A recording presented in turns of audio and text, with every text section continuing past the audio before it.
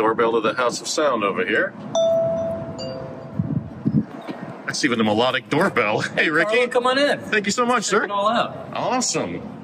Look at this. So this is the House of Sound. This is the House of Sound. We're about to get a lot of really cool stuff. Very awesome. Wow. It's even got a garage in here. Yeah, so we've got one of the uh, Jeep Grand Wagoneers that has the McIntosh MX 1375 system in it, Oh man. um, which is pretty remarkable in and of itself. It's all McIntosh technology and the amplifiers and the speakers, so it's really you're you are driving around with a McIntosh in that thing. Very cool. So thank you so much for uh, for inviting us over here and uh, let's uh, let's have a look around. Yeah, let's take a look. You got it.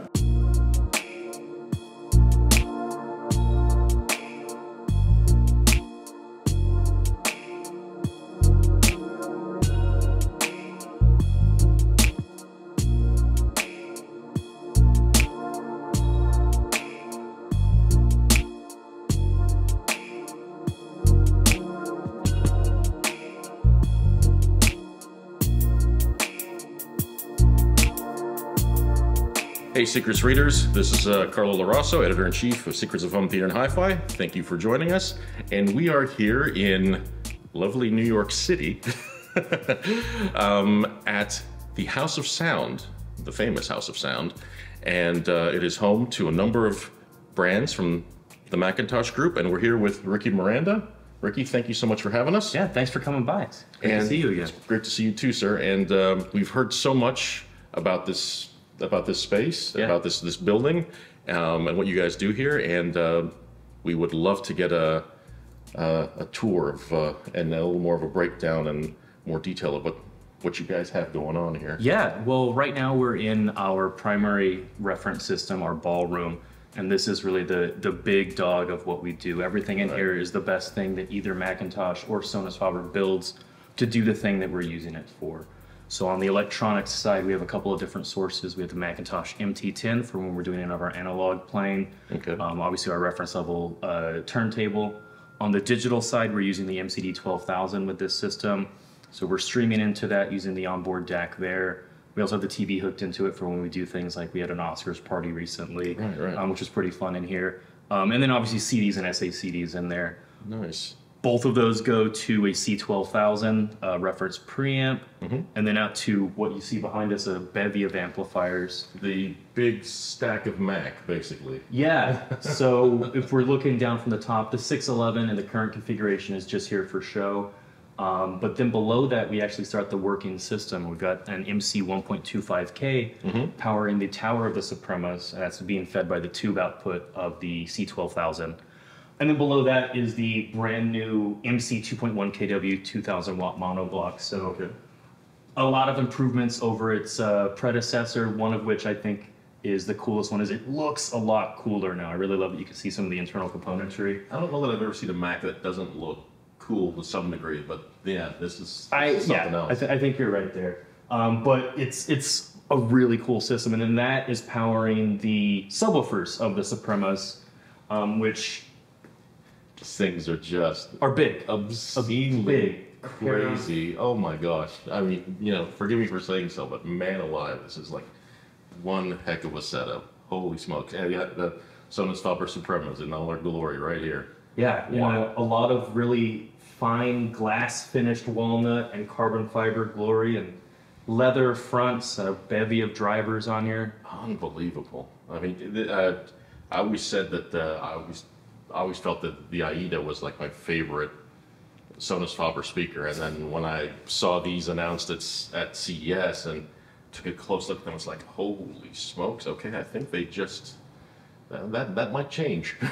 Yeah, Livio and his team uh, seem to know what they're doing when it comes to design don't and acoustics, and um, it's it's really otherworldly sitting in this room and listening to these. You know, it's I've had quite a few people, even in the week that we've been here, that these have been here, come through here and just sit in that sweet spot and just lose themselves in a smile. Uh, I would It's, it's pretty otherworldly. I would expect nothing less. I mean, and you were, and, and when we were talking earlier, you were saying that um, through the crossover, these are being run full. The towers are being run full range Yeah, yes. So the crossover itself is only in the signal chain for the subwoofers. for the subwoofers, right? right. So we are going full range from the tube output of the C12000 into the 1.25K. Gotcha. And then into the tower. So it is receiving a full range signal.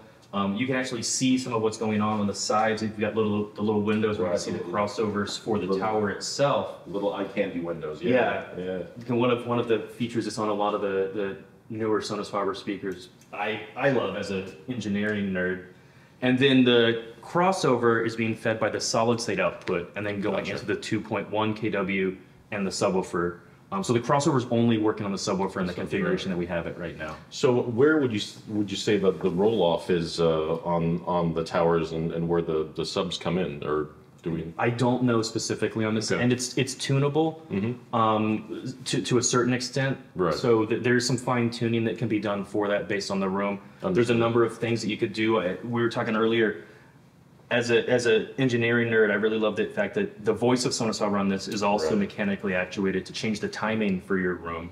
And for those, if I jump in, just for those who don't know, when when Ricky's referred to the voice of Sonus Faber, he means this uh, main section here that covers the uh, the tweeters and the mid range on on all Sonus Faber speakers. There's that module, for lack of a better word, that's that's called the voice of Sonus Faber. So just wanted to clear that up, but please continue. Yeah, it, it's really the, the, the core of what Sonus Faber is trying to do. It, it's a very common, as you mentioned, common feature among all of the speakers. Um, when you get down into a bookshelf, you're essentially just having a voice of Sonus Faber. Right. And then as you get into towers, you expand out into mid-range and, and, and woofers. Um, and obviously, you also see the phase plug that came around in the uh, Amati G5s. Uh, another really cool feature to mechanically affect the timing of the speaker without having to do anything electronically. That is such like beautiful design geekery there. It's just like it's, Yeah. it's so awesome. Yeah. Oh my gosh. And then obviously all of the carbon fiber, um, both in the cabinets and on the woofers. Yeah, I don't know that I've seen. I don't know that I've seen as much carbon fiber on a lot of a lot of high end cars these days. I mean, wow, it's just so nice. Yeah, we were, talking earlier. It's really kind of like going to the Lamborghini factory, right? You have all of this carbon fiber on here, then the fine woods and the leathers, and you know all of the the. Essentially, in this, we're looking at the engine bay with the crossovers. Mm-hmm. Absolutely, absolutely. Yeah, it's just a just a stunning, stunning piece of work. I mean, all of it together, and yeah, the, just the the subwoofers that totem monumentum bass is just that's just so striking, and that, those carbon fiber drivers and oh my gosh.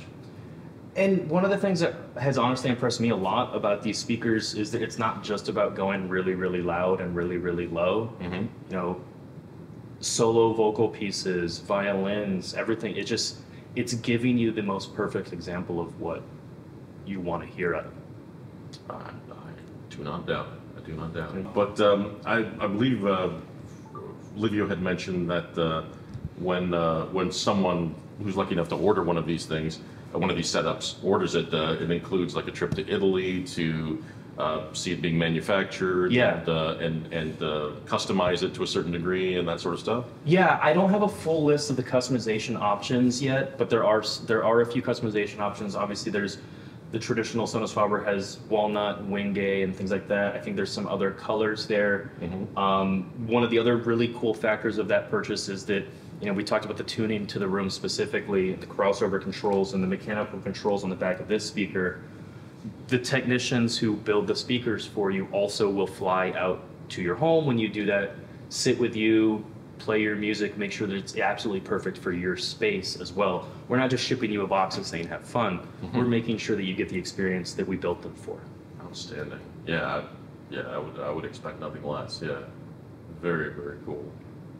Ah, well, thank you so much for for taking us through uh, through the nuts and bolts of these uh, these glorious speakers. And uh, yeah, let's maybe sit down and take a listen. Yeah, let's do it. All right. I'm here at the House of Sound in New York with David Massioni, Global Marketing Director Exactly. of the McIntosh Group. And David, thank you so much for, for having us here Thank today. you for being here. Yeah, no, our pleasure. And I mean, uh, we, uh, I mean, we, there's no better place around here than I think. Next to the fireplace. Yeah, next to the fireplace and next to these gorgeous figures that I think we'd want to be, and this McIntosh equipment that we'd want to be at. Um, but yeah, this is this this is my my first visit to the House of Sound, and um, maybe I know this is the, the, the sort of the, the second iteration of it. Correct. Um, maybe if you could give us a bit, sort of a little bit of background of sort of the reason for basically its being of, Sure. of, of why it's why it exists. it's quite unique, right, in our industry for a brand or right now brands to create a home to host their customers, partners, and fans. Uh, we decided to do this in late 2015, early 2016, because we started to understand that the most impactful way for people to really get uh, introduced to what we do is to listen to it. Right. And so you can do, as a marketer, I do campaigns, I do digital strategies, I do PR, mm-hmm. uh, but there's no better impact than to show someone what McIntosh is by simply putting them in front of a product mm-hmm. and letting them doing their own discovery. Giving them the full experience. Exactly, exactly. And so that's how the concept started. Uh, the previous location was located in Soho, and this new, not new anymore since September, right? But this this this location, we're now in Chelsea, New York, and the goal is the same. Make sure that anyone who wants to come and listen to the best audio products ever made can simply get an appointment, meet with uh, Ricky, uh, who I think you met right before. Oh, yeah. Who is our tour and audio manager, and uh, yeah, spend an hour and a half to two hours navigating the house, discovering what we do best at different level, and also uh, seeing our home theater downstairs. And so it's kind of a it's working simply because seeing the people coming uh, on a daily basis, having a great time, and you know, serves them a glass of wine, gets them a cup of coffee, and uh, hopefully they're gonna feel inspired and had a good day. A very a very civilized experience. It Uh, is, it is, it is. Oh It man, is. no, it's uh, it, it's. I mean, just being here today and experiencing it for for myself and for ourselves, um, it's it's quite uh, it's quite the setup, and and it definitely gets it definitely gets the intent across for sure. Yeah, and, and, and you know, it's kind of uh, something we notice a lot is normally when you want to listen to high-end audio, you of course have to go to a retailer, and because a retailer business nature is to have multiple brands and multiple setups, mm-hmm. I think it, it might be hard sometimes for a consumer to really visualize themselves into the perfect environment because there's many brands and many components. Absolutely. Here, as you may have noticed, of course, you have a lot of audio, but it's merged into a design and I would say a kind of an experience element where audio is a part of the experience as much as the furniture is a Yeah. part of the experience, the people working here are a part of the experience, the wine selection is a part of experience. And we understand that audio for many people it's not going to be their entire life, but it's going to be one of the pleasure, one of the most important pleasures they have in their life. Right, Right? right. I mean, that's the, I think the big takeaway for me being here and, and being through each of the rooms now, uh, including the home, th- that crazy home theater. Nice, Uh, yeah, jeez, yeah.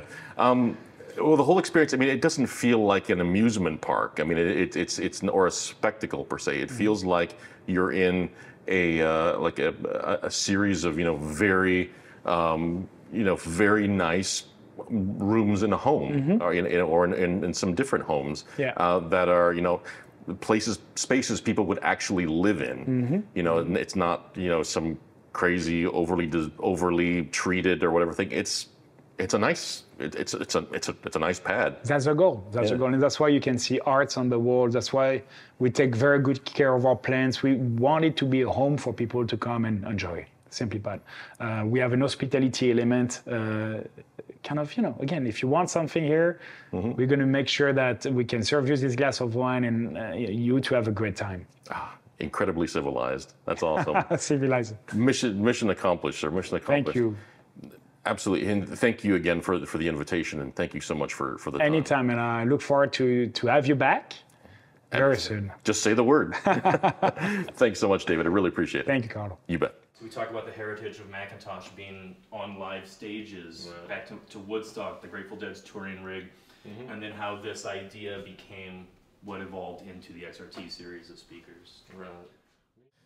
Hey everyone, so we are continuing from the House of Sound in New York City, and Ricky has brought us into the jazz room, as it's called, and uh, it's just very as we can tell by these chairs, it's very comfy and loungy and very, very nice. But uh, there's also some uh, amazing sounding equipment in this room. Ricky? So yeah, so this in this room we focus on the distributed brands within the group. So Okay. we're using Rotel and Michi for electronics. So we have a few different things we can swap back and forth in, on depending on what's going on with the tour. Um, so you see the top of the rack there, we have the RES 5000 streamer. Sitting next to that is the Pro-Ject RPM 9 Carbon. Gotcha. Um, that table is running in a fully balanced configuration, going out Oh, into right, the okay. PhonoBox RS below it. Um, both of those components are going into the P5 Series 2 that you see next to that. Gotcha. That's the Michi preamp, really Very world nice. world class machine and uh, beautiful to look at as well. oh, yeah. Um, below that, you'll see the Michi S5 stereo power amp. So we're pumping out 800 watts class Wow. AB uh, at four ohms into these Olympica Nova 3s. Man. Next to that, you have the DT6000 and, and RA6000, the Diamond Series electronics. Oh, gotcha. Okay. Yeah, yeah.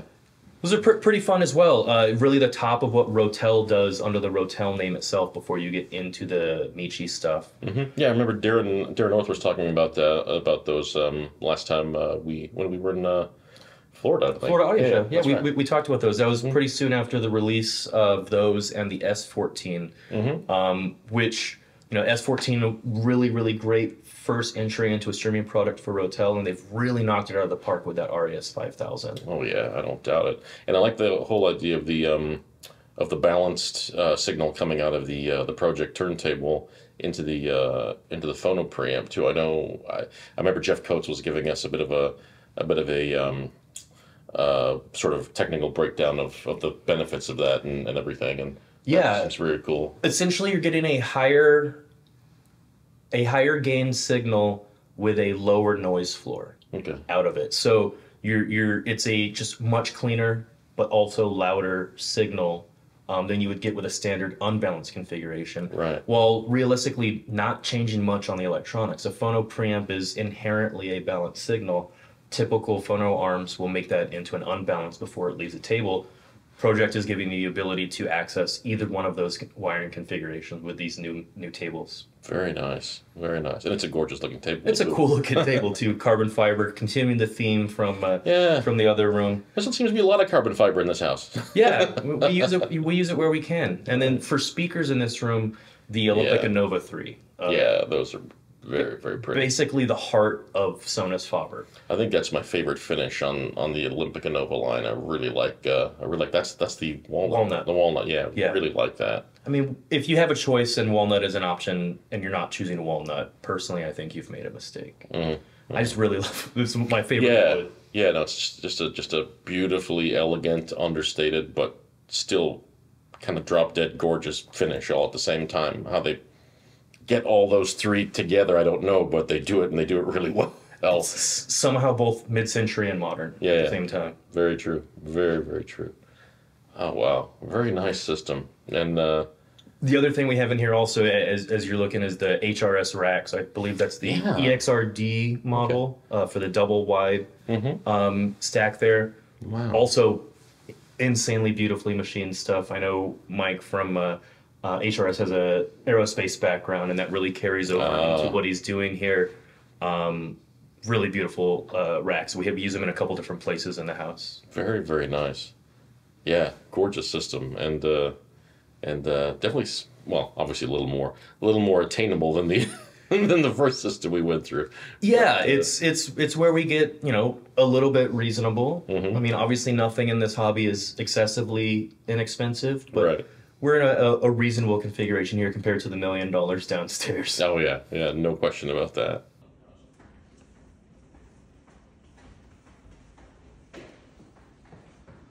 Hey kids, so we are now in what's known as the disco room. I don't know if you can tell why. Yeah, this this uh, this uh, slightly psychedelic array of multicolor lights on the wall kind of gives you an inkling. But uh, but yeah, Ricky has uh, has brought us into this room to uh, kind of go over the system that's in here, and um, it's uh, it's decidedly not disco, if you ask me. But uh, Ricky, let's uh, let's uh, let's run with it and uh, let us know what's in here. Yeah, so this is very similar to the jazz room where we were looking at where we have a couple of different systems we can swap back and forth between. Um, primarily for sources, we're using the MT2 and MCT 500 uh, for analog and digital playback of physical media. Below that, we're going into a C53. Gotcha. Uh, so that's running the system primarily. Really amazing analog preamp, um, eight band EQ.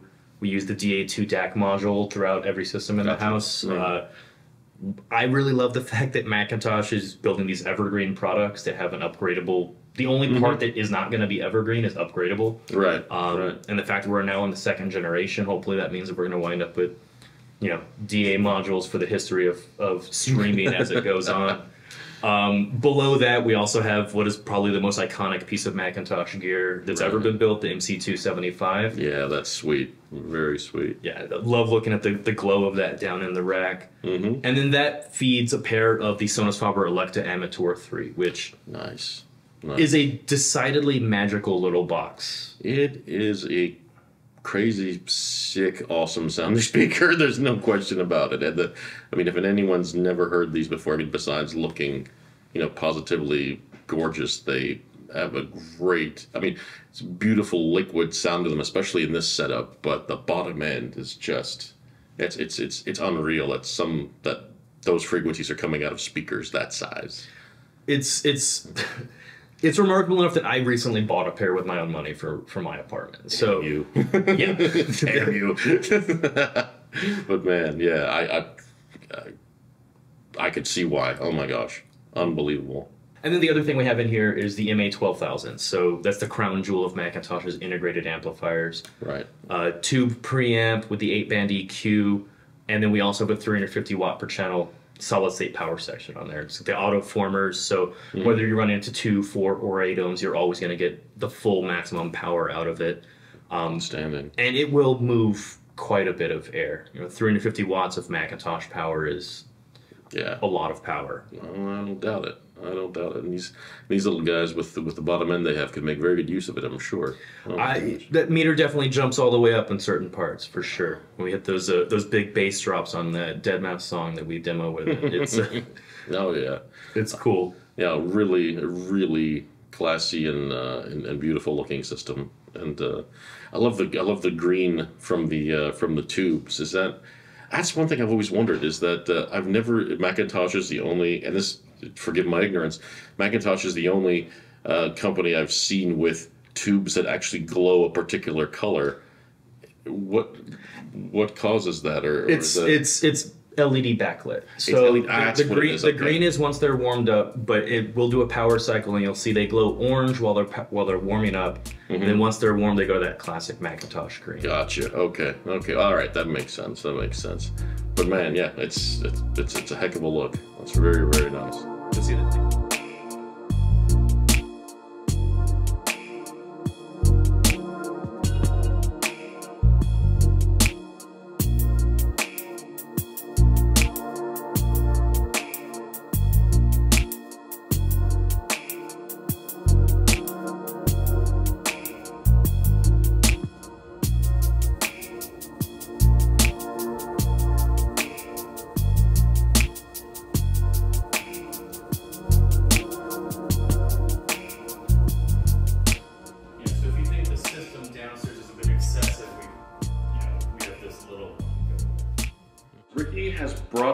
What is known as the reference room here at the House of Sound, and as you may or may not be able to tell, it is full of reference McIntosh goodness. So, Ricky, let us let's go through it and uh, and tell us what makes this room so special, sir. Yeah, so similar to all the systems we've looked at in the house, we focus on having access to any source that we would want to to show someone. So we use the MCD 600 for all of our CDs and SA CDs here, the MT5 for any of our analog gear, and we're streaming direct, directly into the DA2 DAC module on this Right, right, right. preamp, uh, which is our C2700. So you take a look, it's our vacuum tube preamp version of what we were looking at in the last room with the uh, C53. Um, very similar uh, product, but like I said, going for the vacuum tube as opposed to the solid state. Um, from there, what I think is really special in this room is the MEN 220. Uh, so we're going out from the preamp into that, and that runs room perfect from Lyngdorf as our room correction in here. Okay. And if, as you take a look around the room, you notice we have all of these glass windows here. Very problematic. Don't have a wall on this one side. Yeah. And with the MEN 220, we're able to electronically correct for that. So it's affecting the timing in the space. Um, we can use it for various EQ curves, although we typically will run it in the neutral position, just using the timing function. But that's this that's this unit's sole purpose is room correction, nothing else. Nothing else. It's Yeah. just affecting the timing in a space like this where you have, you know, obviously physical restraints from doing it with just speaker placement. This really bridges that gap. Understood. All And it's pretty night and day um, in a lot of cases the, from between the bypass and the actual enabled. Wow. Um, cool thing about the enabled too is that you can have a number of different focus positions. So I typically set one up for the primary, you know, center of the couch, and I'll set up another one for like the chair over here, and then a global Okay. as well. So when we have events, parties, and stuff, we put it in that. That way, no place is the exact perfect spot. Every place sounds really amazing. Understood. Understood. That's a neat little box. And then from there, we go out to our amplifiers. So Oh, this yeah. is the MC2KW monoblock. This is the prior generation of the amplifier that we looked at in the Suprema system downstairs. Um, but we had them in the house, so we decided if we're going to keep powering the XRT 2.1s, um, this is the way to go. This amp, I believe, was in production for close to 13 years. Really, really long time to, to be doing something right. It took us that long to improve on that technology. It's, uh, it's like it's a cross between a power amp and a bank vault. I mean, look at it. Yeah, and it's a lot of cool things going on with why it's three boxes as well. We didn't talk about this when we're mm-hmm. looking at the modern one, but it's a, one of our quad balance amplifiers. So what that does is it works the same way that any other balance system works, where we have an in phase side and an out of phase side. So essentially, we're producing a thousand watts of in phase music, a thousand watts of out of phase music, and then they're combined right before output here to create two thousand watts of completely noiseless music. So I used to say that this is the quietest amplifier anybody builds at any sort of scale, although now we've made it a little bit better. So the 2.1 is now the quietest amplifier that anybody builds at any sort of scale. Nice. And then from there out to the XRT 2.1s. All right. Let me use So this is our monolithic, monstrous line array speaker. So a lot of cool things going on there as well. Stunning. You've got 2,000 watts going into your speaker, you really can't have a single tweeter. Not if you wanted to actually use the full 2,000 watts. Right. So we have 45 of them. Um, a, a lot of cool effects of having that many tweeters arrayed in the way that we have them arrayed. So this is a line array. So the smallest ones are the tweeters, and, and the, the, the next size after those are, These are mid-range. drivers. Right. Gotcha. Okay. And then there's also two larger mid-range woofers here, in addition to the six woofers on the cabinet. Okay. I see. 80, 81 drivers in total per, per cabinet. Madness. Yeah. and the line array makes them really, really good for long, deep rooms. They're also really good if you have really hard floors or high ceilings because of the way that they distribute sound really ignores those up and down barriers. They're kind of ignoring those reflections by virtue of being a line array. Understood. Probably incredibly low levels of distortion too, with all those drivers working simultaneously. Yeah, a, a lot of times, uh, like at hi-fi shows, we'll get people that'll come up and put their ear next to one of the drivers and go, "Oh, this this one's not working." Well, this one's not working either, and they'll go down the whole line and say, "Well, they're only getting about a watt." It's like headphone volume, but the cumulative volume of that is what fills the space. Right. Right. Absolutely. The whole the whole purpose of a line array. Very nice.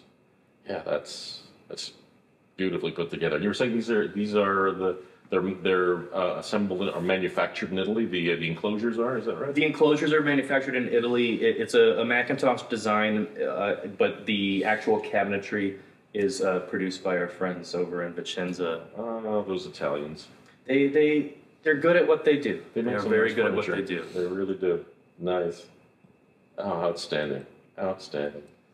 Well, uh, thank you, Ricky. Let's, uh, maybe we get a chance to hear these in a little bit, but uh, thank you so much for, for running us through this. It's Yeah, definitely. Thanks. The- Thank, once again, thanks. Thank you guys for coming. Oh. it's a great time. our pleasure. I mean, this uh, the- the whole the whole House of Sound makes one one heck of an impression, and uh, yeah, if you wanted to uh, get a get a good uh, a good impression, a good glimpse of of what all the brands are about, this is this is the place to visit.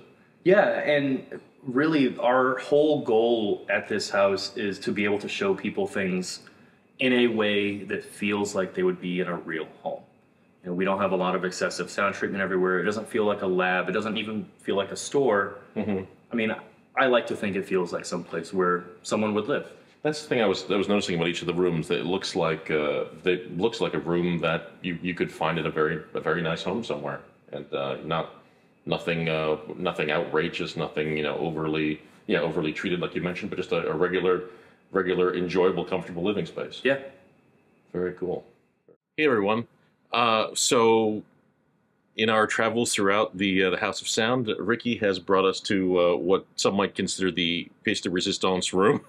uh, this it, insane looking home theater that is just uh, it looks like it looks like something in my neighborhood that I would go to to to watch to watch a movie. Um, Ricky, I think you were saying something in the area of like nine dot sixteen dot four. Yeah, it's a 9.16.4 um, with quite a lot of McIntosh amplification powering those Sonus Faber speakers. So let's talk about what we Yeah, have going on yeah. in here. And Let's do that. really to, to, to echo your statement of mimicking a what some would consider a fairly decently sized local home theater or local Mhm. theater. hmm I live about 30 minutes away from here on the subway, and I don't go to commercial theaters anymore. I just come watch movies here.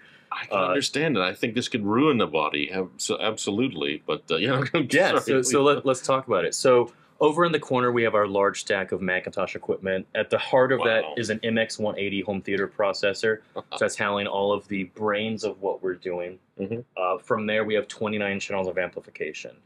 There are nine of our MC611 mono blocks that are powering the program speakers at ear level. Mhm. We'll talk about those speakers here in a couple minutes. Okay. And then we also have 10 of our MI502s. Those are each a stereo 500 watts per channel amplifier. 16 of those channels are powering our subwoofers. Sixteen. And then the other four channels are powering our four Atmos speakers. Gotcha. Um, Gotcha. So let's talk about all of those speakers. Right. Um, these are all the Sonus Faber Arena The series arena speakers. series. Okay, gotcha. Yeah, yeah. Um, at ear level, we have three Arena 30s behind the screen. Those Okay. are essentially an Amati in the wall. Right, right, right, Um, right. With one major difference, which really helps for theaters, they were a dual tweeter design. So you get a lot more Okay. articulation in the dialogue and any of the front channel effects. Mhm. So a lot more detail up front than we're typically used to, especially at the clarity that we're getting with the Sonus Faber speakers and the McIntosh amplification. Gotcha. The other six in the in the nine are Arena 20s. So these are the in-wall version of the Serafino, so the little brother to Right. the Amati Right. in the, uh, the that series of speakers. Um, there's six of those, like I mentioned, at ear level. hmm Then we have our four Arena 10s in the ceiling, two flanking the front of the screen and two flanking the projector up here, which, by the way, is a uh, a Sony GTZ 380 laser projector. Um, that is a beastie. it's a at that. beast. It is it is quite a beast, and um, as you see, we're in Yeah, full full lights Mhm. in the room, and it's basically like a TV, And and you're um, saying what's the screen size? Let me 204 inches. 204 inch screen. from Screen Research. It's uh, it's big, and it's also an auto masking screen. So depending on the programming we're playing, we can you know close it up Right. Okay. or open it up for either the two three five or down to one eight Depending on the aspect ratio. Yeah. Gotcha. Gotcha. Um, and l- so let's let's let's finish up with these speakers. We we Yeah. left out the subwoofers, sixteen of them. Absolutely. Yeah, we can't forget those. So these are the Arena S15. Uh, Mhm. we have 10 of them down below the screen, and then there's six at the back of the room, three behind each of these two seats you see behind us. The configuration is a little bit interesting. No movies are, are shipped with a 16 discrete tracks of right, right, frequency. right, right. Um, typically, what you're getting out of uh, modern movies is a 0.4, which we're using in here. We have four of the 16 are doing the 0.4 standard LFE track that comes out of the processor.